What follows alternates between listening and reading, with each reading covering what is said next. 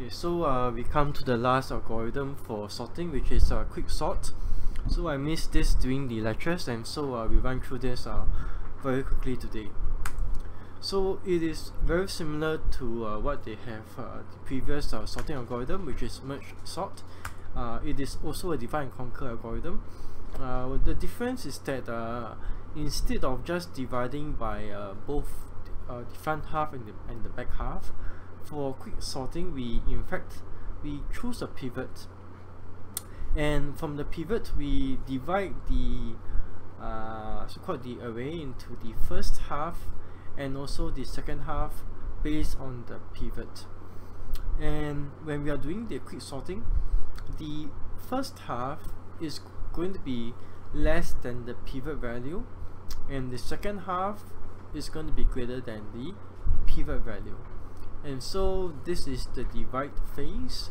And during the dividing phase we will then qu quick sort the first half and quick sort the second half and so on. Very very similar to that of the merge sorting algorithm. So uh, let's look at an example uh, of uh, quick sorting. So in this example at the topmost level we have the uh, the uh, or rather in this quick sorting uh, algorithm we choose the pivot to be the first value. So for this particular version we choose the pivot to be the first value. And so for this array the pivot is chosen to be number 15 what happens is that numbers that numbers that are smaller than 15 will then be chosen as the left array and numbers greater than 15 will then be chosen as the right array so numbers less than uh, 15 will be uh, over here we have uh, 13 12 and 10 goes over here. And numbers on the right you have uh, 22 27 20 and 25 and this goes on to the, um, the sorry this goes to the left side this goes to the right side. At this level you notice that we choose the the smallest uh, uh, sorry the first element as the partition again number 10 this happens to be the, the smallest number and so there's nothing at the left side. On the right side will be 12 and 13 and then 13 is chosen as the uh, as the pivot again as the pivot. So 12 is smaller than 13 12 goes to the left. Similarly similarly in this 22 is the pivot and numbers smaller than 22 which is 20 goes to the left uh, there's only one element so we are done. And on the right we have 25 27 goes to the right. 25 is the uh, 27 is the pivot. 25 goes to the left. And so this is the dividing phase. Okay so let's look at some code. So this is the quick sort algorithm and you find that as long as the uh, size of the array is greater than 1 you call these few uh, you execute these few lines. In the first line of partition you will choose the pivot and then both the left side and the right side of the array. So so the pivot index uh, how to say the pivot index uh, chooses for you the index of the pivot which splits out the array into the left side and the right side. And subsequently you will then quick sort the left side and quick sort the right side via these two, these two lines. So firstly partition array quick sort the left quick sort the right. And this is the partition uh, algorithm. Uh, it's a bit um, uh, complicated to go through this code at this point of time. It will be a lot clearer when we go through the example which uh, we'll go into it now, right now. So assuming that we have this uh, this array we first choose the first uh, number which is 8 to be the pivot. So 8 is now the pivot and we will then start the index at the second uh, element and we try to move this into the location whereby on the left side everything is less than 8 and on the right side everything is bigger than 8 so this is essentially what the partition algorithm is doing so the first step it will first decide the first element and set it to be the pivot value. Through this for loop, it then moves the index along and tries to insert the pivot value of 8 into the right location of the array. It will insert it in such a way whereby everything to the left will be smaller than 8, everything to the right will be larger than 8. So let's let's illustrate this. So in the first place, your index will be at index number 1 if if your tree is less than a pivot value of uh, 8 what happens is that your pivot index will just increase and index in, goes on. And pivot value pivot index will increase because it is smaller than 8 so this part would be executing over here we find that oh we now hit a value whereby um, it is larger than my pivot value. So it doesn't do anything. It increments my index value increments my index value until hits into a number that is smaller than my pivot again. And so at this point of time what happens is that my pivot index will increase by 1 and you notice that I will then do a swap. I'll do a swap between my pivot index and my index or rather the value at my pivot index and the value at my index. Okay let's go back to my step. This is where I increment my pivot index to 1 and after that I do a swap between 11 and 5 to this. So notice that in my blue colored boxes these are the numbers that are always smaller than my pivot value. And my red color boxes are the numbers that are always greater than my pivot value. So the next thing that will happen is my index will increase. So it is bigger than the value of 8 so it will increase again to here.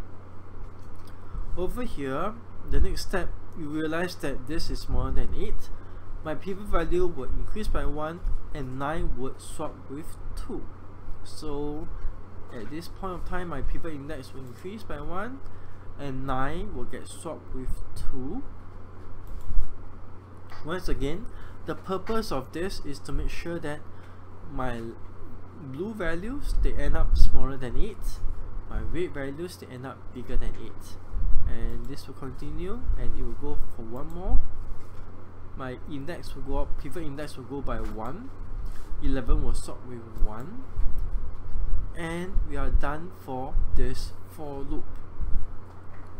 At the end of this this is what's going to happen.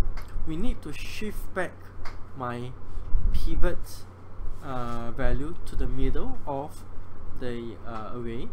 And so 1 and 8 will then be swapped so that we know that now 8 is at the is the pivot and everything on the left is smaller than it. Everything on the right is bigger than it. So before the swap this was what happened. We have run we have completed the for loop. At the end of it we then swap between my pivot and my pivot index. And now I have a pivot index of 8 everything to the left is smaller than 8 everything to the right is bigger than 8 okay so we have come to the end of the quicksort algorithm some other technical details of this algorithm. So um, on average uh, each partition will halve the array to be sorted. And in the worst case it is n log n and in uh, sorry in the on average is n log n and in the worst case it is n square. So take a moment to think uh, what does uh, in what scenarios would that be n square so there are probably three the first scenario will be when it is already sorted the second one will be when it is reverse sorted and the third is when all the numbers in the array are of the same value when either of these three uh, scenarios occur, what happens is that in your partition, your partition, you're, you're decreasing your sub-array by only uh, a value of 1. So uh, that will result in an n-square algorithm. And uh, you can easily solve this. Um, um, probably uh, the sorted and the, and the, and the reverse sorted scenario by choosing a random index, uh, minimum index of the partition, the sorry, the middle index of the partition for the pivot, or the median of the first, middle, and third elements of the partition for the pivot. Uh, what what this means is that you take the the first value, the uh, the middle value, the last value, you you sort them and you get the middle value of the uh, of the tree and you use that as the pivot value. So uh, there's one more other thing that I wanted to point out which is quicksort is it, it is not a they call it a stable algorithm meaning that meaning that because you're swapping the items around the order of the elements inside it will not be the same. Uh, what I mean by that is uh, for example let's look at this uh, this tree over here. Okay so you notice that in this example 13 comes before both 12 and 10 and however if you look at the next level 10 comes before 13 and 12 and so the order of the elements unfortunately get swapped as you go down. So you, you may think that this this doesn't matter very much but in fact uh, this has a very uh, big practical implications. Why why why what and, and why is that so?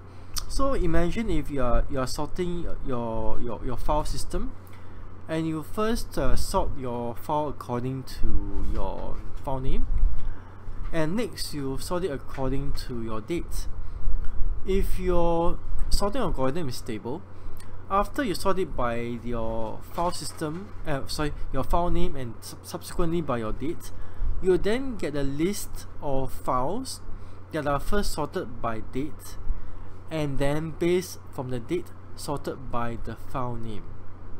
That is what you will get if your algorithm is stable. However if your algorithm is not stable like quicksort if you sort it first by file name and subsequently by your date you will get an array that is sorted by date but then it will not be sorted again by your file name. Because your elements in your uh, so-called array get swapped around in the middle of the sorting and so it will not your initial sort will then be jumbled out. So that is uh, one of the issues of the quicksort of course there are other advantages of quicksort. Notice that uh, the space is uh, is very efficient. We are actually only using the uh, the same space. We are not inc increasing the space. So quicksort uh, uses uh, uh, least less space than the merge sort. In fact that is one of the one of the advantages of quicksort versus merge sorting